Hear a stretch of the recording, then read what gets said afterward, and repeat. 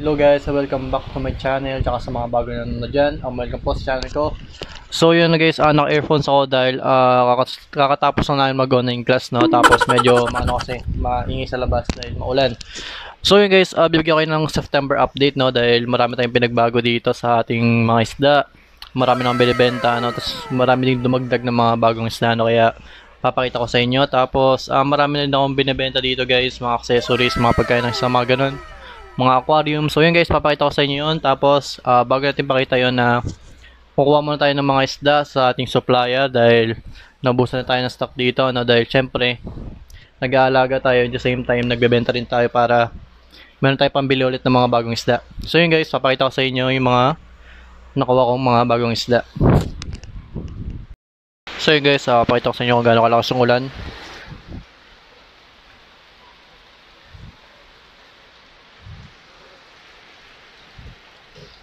So yun, uh, mamaya maya tayo makakuha ng isda.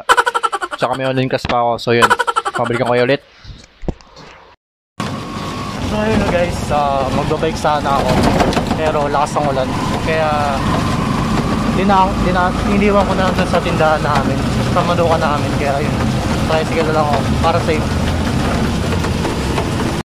So yun guys, kakauwi ko lang at andito na yung mga isda. Yan. So, yun guys, uh, tas, ito, ito nga pala yung mga aquarium, no? Yan. Medyo nabil na yung iba kaya medyo konti na lang, no?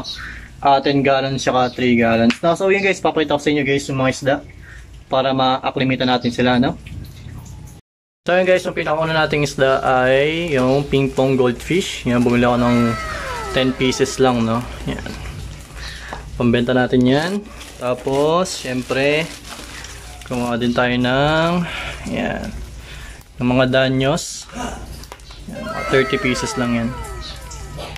Yung mga zebra tsaka pink. Tapos ito guys, mga mollies.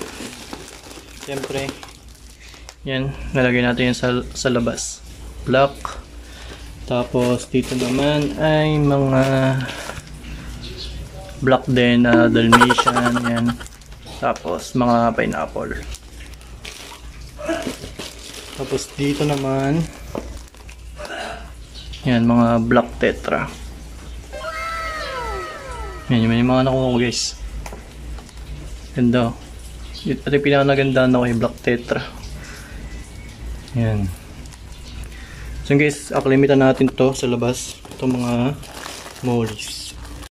So yun na guys, uh, nag-earphones ako dahil nga maulan. Tapos may, may gumagawa sa kabilang bahay no. So yun guys, uh, tapos ko na sila acclimate no, nakalagay na sila sa sa ating aquarium no? Tapos yung sa mga molds naman nasa ano sila nasa labas. So yun guys papakita ko sa inyo yung mga isda. Yun guys dito mo tayo sa ano yung pinagawa kong ano rack na kasya yung 10 gallons.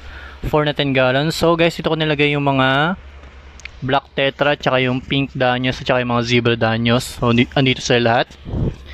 Yan Pinakain ko sila kanina guys ng watchupong na granules tapos naglagay ako ng ano, vitamins para lumakas-lakas sila kasi nagre-recover pa sila eh dahil galing sa shipment nga.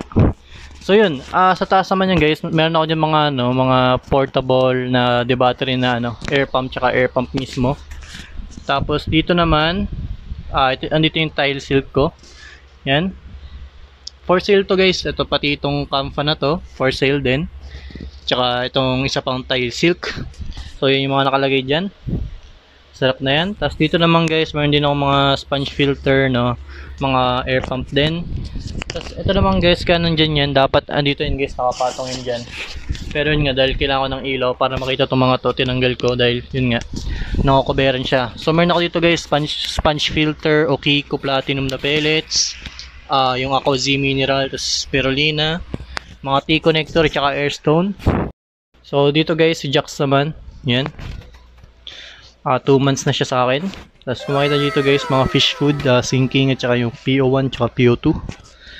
Tapos, dito naman guys, andito yung mga, syempre, yung mga uh, gapis ko dati na pinapalaki, no? Yan, ang gaganda na nila.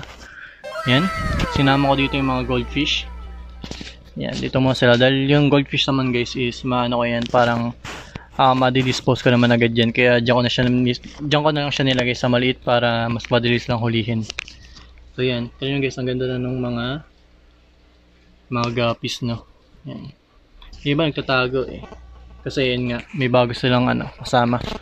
So yun guys, dito naman sa baba, ah yun na nga, ah yung isang campfire nandito, 'di ba? Dahil yun nga, apat yung binili ko, no? So ito siya guys, ang ganda niya, kaya ako siya hiniwalay. Yan, kung mapapansin nyo. Ayan, no? Yan, meron daw siyang kilay, yung mga, mga sinasabi man nila na kilay sa flower horn. Ayan, meron siya nun. Yan, kamfa siya. Tapos ito yung mga pusa. Diyos ko. Dami ng pusa dito pupunta dahil nga ang, bag- ang daming bagong isda, no? So yun, doon naman tayo guys sa labas. Dahil yun, yun lang yung nandito, no? Yun lang yung mga nagbago. Yan, mga lumaki na yung mga alaga ko dito, no? Yan. Guys, ito yung mga platy. Yan. Okay naman sila, no? May nabawasan din dahil medyo malaki na. May tanda na kasi yun. Kaya yun, medyo nabawasan tayo ng dalawang breeder. So yun, yun yung update dyan. Pero nabawi din dahil marami din ako nilagay na mga bagong ah adult na platy. So yun, tapos ito guys, yung mga ano, syempre, yung mga fry natin ng mollies, medyo naubos na. Ang dami rin kasi na pull out dyan, yung lumaki yung iba. Yun, binenta ko na agad. Tapos yung mga bago natin, yun.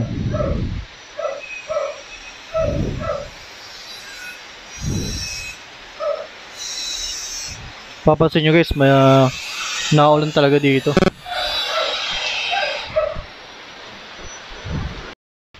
Tapos dito guys, yung mga ano, mga black molly. Yung mga black molly kanina, ano. So bali guys, binili ko yung 50 pieces. Tapos ito naman, mga 100 pieces to lahat. Yun. Wala. So yun guys, ito naman yung mga fry. Yan, medyo maliliit kaya parang ang konti nila. Ano? Pero pag lumaki-laki, mas madami pa yata dito yun. No? Kasi ito yun guys. Yan. Mga white, uh, gold dust yan. Tapos ito guys, syempre yung mga ano, platy. Yan, nandito sa lahat. Ang dami niya. Ito guys, yung trio ko ng gapi na bigay lang sa akin. Papakita ko inyo. Ito yung male. Yan. Ito guys yung ano, breeding box. Yung mga mollies ko. Kung may mga buntis, nilipat ko sila doon. Kasi pinapano ko na. So yan sila. Guys, ito pa yung ano, ah, isa pang ref tab. Punong-puno siya ng platy. Yan, mga fry. Lagyan natin siya dun sa isang corner. Tingnan natin. Mapunta sila dun sa isang corner. Yung mga fry. Hmm? Yan. Tapos dito mga molly din. Pero konti lang yun nandito eh. Konti lang mga nalagay ko dyan. Dito talaga madami. Mga plat. So yun. Dami rin ako nabenta dyan. Kaya medyo konti na lang talaga yung mga tira. So yan. Ngayon papadami na ako. Papalakin ko na talaga.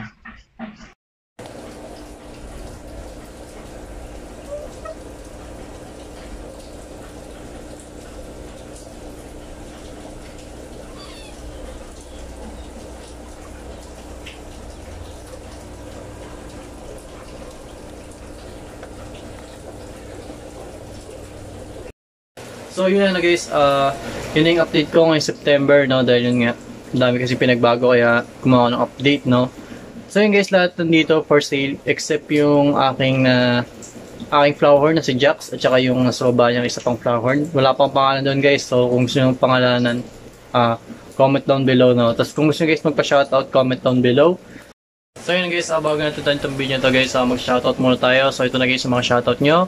Uh, shoutout kay Zyren Lecon, kay King John Lamagan, tapos kay J and A Fishcare, yun, shoutout sa inyo guys. Tapos yun nga guys, kung gusto magpa-shoutout or ano may mga tanong man kayo, uh, comment down below. And you guys, don't forget to like and follow my page, Tiny Fins Fishes. And don't forget to like and and subscribe to my channel. So guys, bye!